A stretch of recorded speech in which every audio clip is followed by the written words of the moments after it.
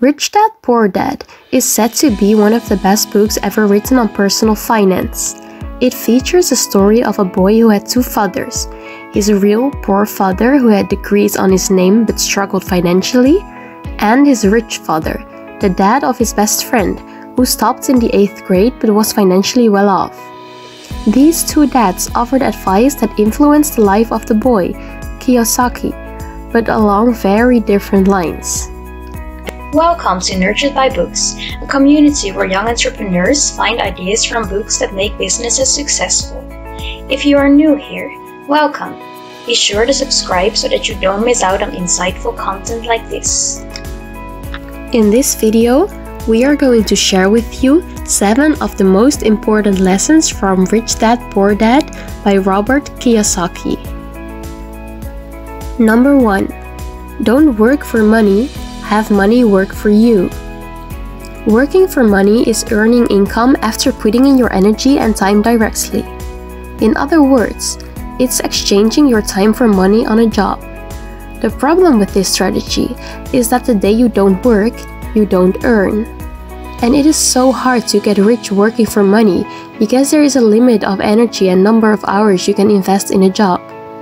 So there is a limit on how much money you can make. On the other hand, the rich build assets that make money for them even on the days they don't work. Warren Buffett could not have put it better when he said, If you don't find a way to make money while you sleep, you will work until you die. Number 2. It's not how much money you make that matters, it's how much money you keep.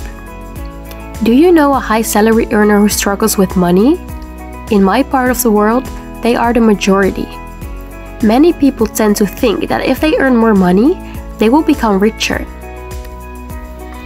Some people decide to go back to school to get expensive degrees in order to be promoted in corporate companies.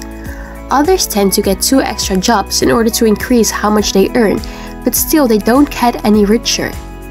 According to Kiyosaki, more money cannot make you rich if the poor money management habits you have are the problem.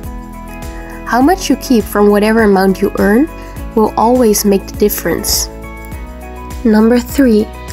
Know the difference between an asset and a liability.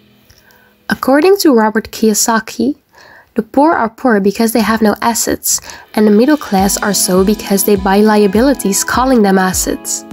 When you buy yourself a car, it is not wise to count it among your assets because you spend a lot of money on fuel and maintenance monthly.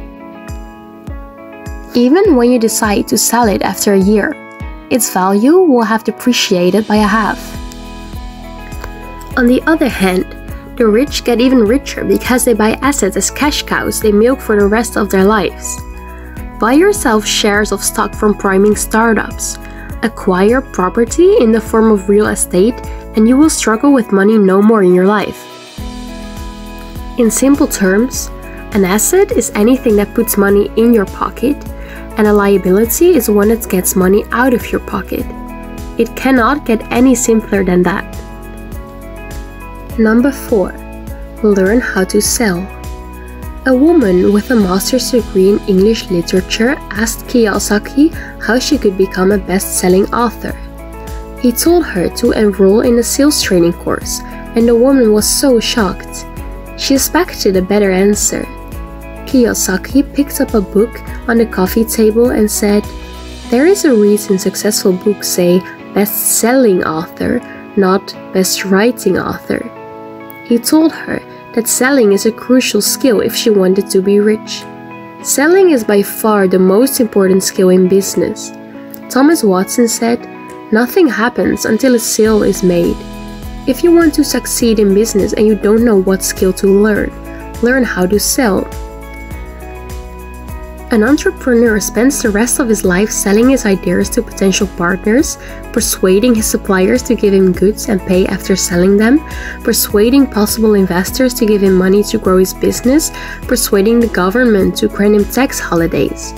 If you know how to sell, you have high odds of winning at business. Number 5. Your mind is the most important asset you have. In the words of the author, your mind is your greatest asset, so be careful what you put into it. He actually says that knowledge is the new money. What you know determines how much you earn. The truth is that money doesn't make you rich, knowledge does. Great opportunities are not seen with your eyes, they are seen with your mind. Teach your mind to learn things and embrace change. If you cling to old ideas, you will be left behind. If you are an entrepreneur and you want to develop your mind, subscribe to our channel to get new ideas from entrepreneurship books like this one for free. Number 6. Your wealth is proportional to your ability to take risks. The poor and middle class want to play it safe. What they know is to study hard, find a secure job, and work hard. They can't quit their jobs to start a business because they are scared to get broke when their new business fails. They allow fear to hold them back. But the rich play it differently. They develop their financial IQ and take more calculated risks. They make millions rather than worrying about getting a raise. Number 7. Learn how to pay yourself first. The concept of paying yourself first got popular from George S. Clason's Richest Man in Babylon. It means keeping a percentage of whatever you earn and invested in assets that are capable of paying you dividends in the future. However, when you are an employee, paying yourself first is impossible.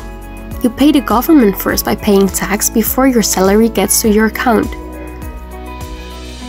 On the other hand, the rich who have corporations enjoy the luxury of paying tax after subtracting all company expenses.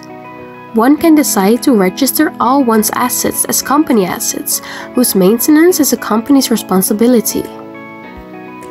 As a reward for watching till this far, we have a bonus takeaway for you. Number 8. Your mindset makes all the difference. Don't say you can't afford something. Ask yourself, how can I afford it? One lets you off the hook, and the other forces you to think. By automatically saying the words, I can't afford it, your brain stops working. By asking the question, How can I afford it? your brain is put to work. I can't afford it creates negative feelings like sadness and helplessness. When you change that into a question, however, it creates possibility and that allows positive feelings like excitement. Challenge yourself by asking this question instead of limiting yourself and saying you can't. You'll be better for it.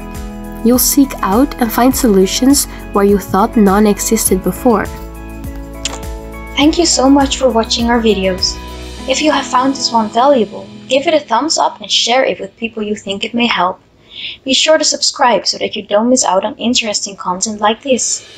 Turn on the notification bell to be the first to know when we upload a new video. Check on your screen, we have handpicked two more videos for you to enjoy next. See you in the next video.